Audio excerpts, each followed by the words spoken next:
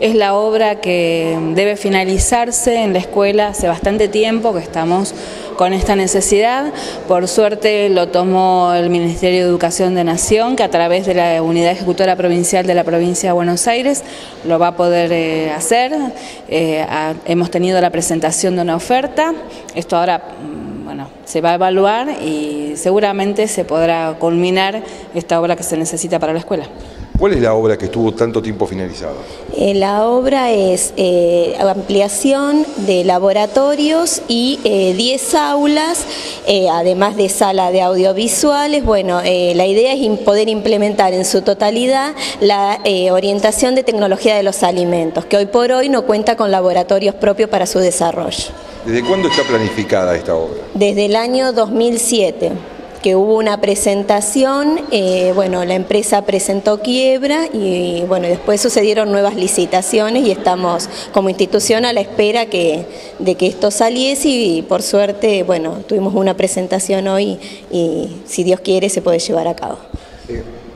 Desde el año 2007, ¿se avanzó en algo en la obra o está totalmente sin, inicio? No, hay un inicio, es muy poco lo que se hizo, se hizo todo el encadenado y las columnas de esta obra, pero nada más. Bueno, esperando ansiosamente. Obviamente, sí, es algo que la escuela lo anhelaba eh, y bueno, la idea es poder brindar en su totalidad a los alumnos el espacio acorde y las necesidades para sus prácticas eh, tan importantes en una escuela técnica. ¿no? Claudia, ¿cuándo tendría que comenzar y cuándo finalizaría la obra? Y la obra posiblemente comience dentro de unos meses, entre cuatro y seis meses, es lo que se acostumbra generalmente, sí. Es por la experiencia que tenemos de otras obras, ¿no? Y a partir de ahí se cuenta con un plazo de ejecución, en este caso, de 365 días aproximadamente. Porque la obra es importante. Es importante, es de dos plantas. La planta baja es la que cuenta con más dependencias, aulas y laboratorios. La planta alta tiene menos cantidad, pero tiene dos grupos de sanitarios, por ejemplo, que eso hace que sea una obra eh, compleja, ¿no? Está alrededor de los 10 millones de pesos. Bueno, el proceso, cómo se lleva adelante. Hoy se abrieron los sobres. Hoy se abrieron los sobres, esta documentación va a la unidad ejecutora provincial para su análisis, para ver si la empresa reúne todas las condiciones, que por supuesto que sí, eh, yo pude ver los legajos y estaban totalmente completos con todos los requisitos que la unidad ejecutora este, exige y Nación, bueno, una vez que son analizados en provincia, eh, estos legajos pasan a, Nación para la aprobación del, presupuesto. Este, el presupuesto excede lo que es el presupuesto oficial, pero en un porcentaje eh, que va a ser aprobado. ¿Cuánto, cuánto es el, presupuesto que tenían y cuánto es la oferta? Eh, la oferta es de 10.998.000... 802 y una cosa así. Y el presupuesto oficial es de 9 millones 900 y pico.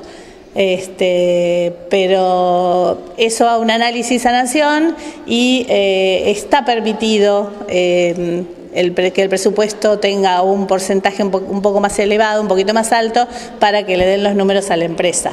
Este, pero eso seguramente que, va a ser aprobado, porque yo he estado en otras licitaciones y todos han sido aprobados. Este, así que nada, siempre una empresa presenta un, poco más, eh, nadie presenta ya por debajo de lo que es el presupuesto oficial. Una vez que es aprobado este presupuesto, esta ampliación de presupuesto, ¿cómo continúa el proceso? ¿Automáticamente es aprobado? ¿Hay un plazo de espera por alguna objeción? Y ah, puede haber un plazo de espera por alguna objeción. En este caso, como la documentación es revisada en la unidad ejecutora antes de pasar a Nación, eso se salva inmediatamente, se llama al, al, dueño de la empresa y se salva automáticamente, pero eh, la idea es que la escuela se empiece en un, en un plazo menor al que dijo Claudia. Este, ustedes van a ver que van a empezar con el cerco perimetral y la colocación del cartel de obra, después se hace el estudio del suelo y después sí, una vez que tengan aprobado todas esas cosas, este, comienza la obra en sí. Eh, a ver, todas las obras de la unidad ejecutora, obra que se empieza, obra que se termina. Yo en esto tengo que destacar este, el compromiso del intendente, de Juan Pablo Angeleri, con mi director provincial, Mariano Puccio, que nos hemos sentado en una mesa de trabajo y a pedido de él, que siempre estaba la escuela técnica, la escuela técnica, que era, eh, a ver, es, una, una, promesa y es un compromiso que la, la provincia asume para que los chicos estén mejor. Yo siempre digo, estas escuelas eh, las técnicas, los jardines, las primarias, eh, más allá de un montón de cuestiones y de distintas ideologías, en esto la verdad que, nosotros no nos fijamos porque queremos a los chicos todos en la, escuela y todos aprendiendo. Y en las condiciones que realmente, eh, como lo dice la ley, de igualdad, de inclusión, este, y la verdad que esta escuela es muy linda, pero necesita este, esta, de esta ampliación. Claudia, por último, hablaste de jardines. Eh, ¿Hay novedades? Sí, el 3 de diciembre vamos a tener la apertura de sobres para la licitación en un jardín de infantes en el barrio Altos del Oeste. también es una zona que está necesitando un jardín de infantes, hace bastante estamos trabajando, eh, así que bueno, se suma a todo este proyecto de trabajo que tenemos desde el municipio con la Unidad Ejecutora Provincial.